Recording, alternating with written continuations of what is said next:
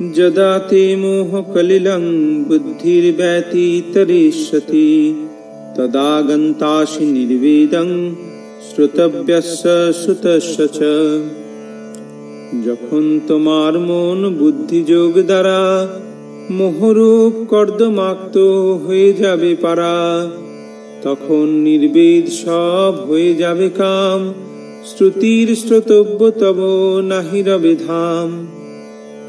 এভাবে পরমেশ্বর ভগবানে অর্পিত নিষ্কাম কর্ম অভ্যাস করতে করতে যখন তোমার বুদ্ধি মোহরূপ গভীর অরণ্যকে সম্পূর্ণরূপে অতিক্রম করবে, তখন তুমি যা কিছু শুনেছ এবং যা কিছু শ্রবণীয় সেই সবের প্রতি সম্পূর্ণরূপে নিরপেক্ষ হতে পারবে।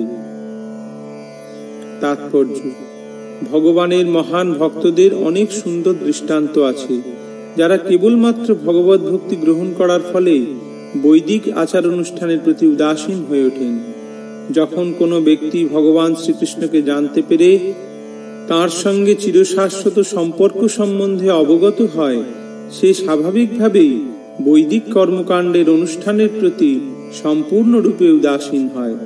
এমনকি সে যদি অভিজ্ঞ ব্রাহ্মণও হয় মহাভাগবত গুরু পরম্পরা ধারায় আচার্য শ্রী মাধবেন্দ্রপুরী বলেছেন, সন্ধ্যাবন্দন ভদ্রমস্তু ভবতো ভূ স্নান তুভ্যং নম।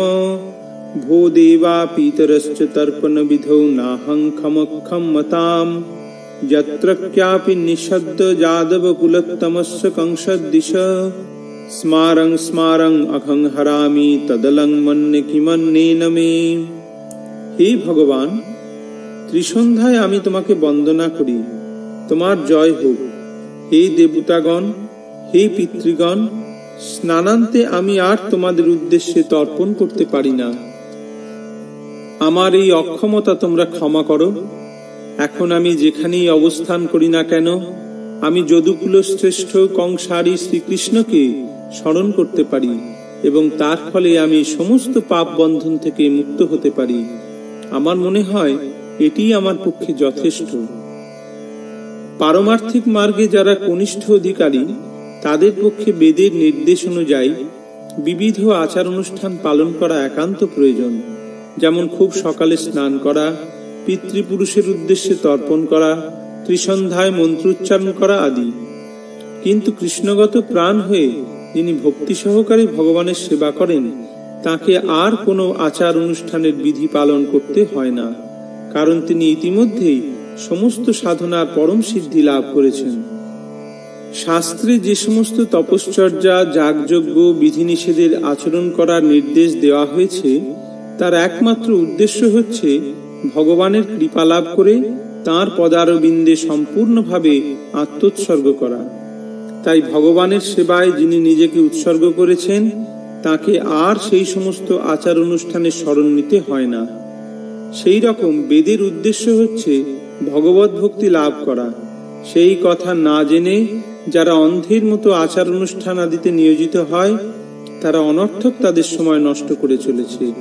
যে মানুষ ভগবত ভক্তি লাভ করেছেন, তিনি শব্দ ব্রহ্মের স্তর উত্তীর্ণ হয়েছেন। অর্থাৎ তার কাছে বেদ উপনিষদের আর কোনো প্রয়োজনীয়তা নেই।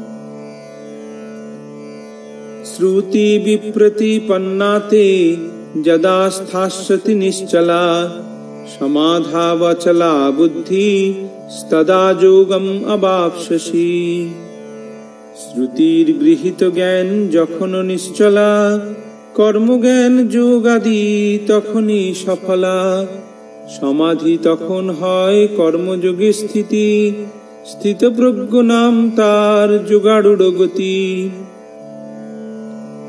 তোমার বুদ্ধি যখন বেদের বিচিত্র ভাষার দ্বারা আর বিচলিত হবে না, এবং আত্ম উপলব্ধির সমাধিতে স্থির হবে, তখন তুমি দিব্য জ্ঞান লাভ করে ভক্তিযোগে অধিষ্ঠিত হবে।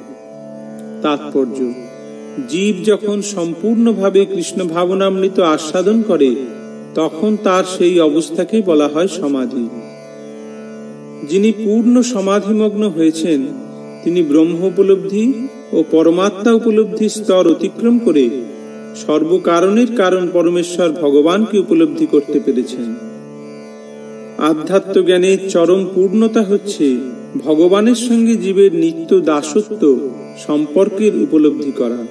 তাই ভক্তি সহকারে ভগবানের সেবা করাই হচ্ছে জীবের একমাত্র কর্তব্য।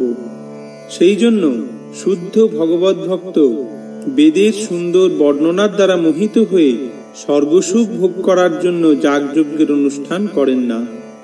ভক্তিযোগে ভগবানের সেবা করলে ভগবানের সঙ্গে সরাসরি যোগাযোগ স্থাপিত হয় এবং তার ফলে ভগবানের প্রতিটি উপদেশের মর্ম যথাযথভাবে উপলব্ধি করা যায়। শ্রীকৃষ্ণ অথবা তার প্রতিনিধি শ্রী গুরুদেবের আদেশে ভগবানের সেবা করলে অচিরেই তার ফল পাওয়া যায় এবং ভগবত ভক্তির মাধুর্য আস্বাদন করা যায়।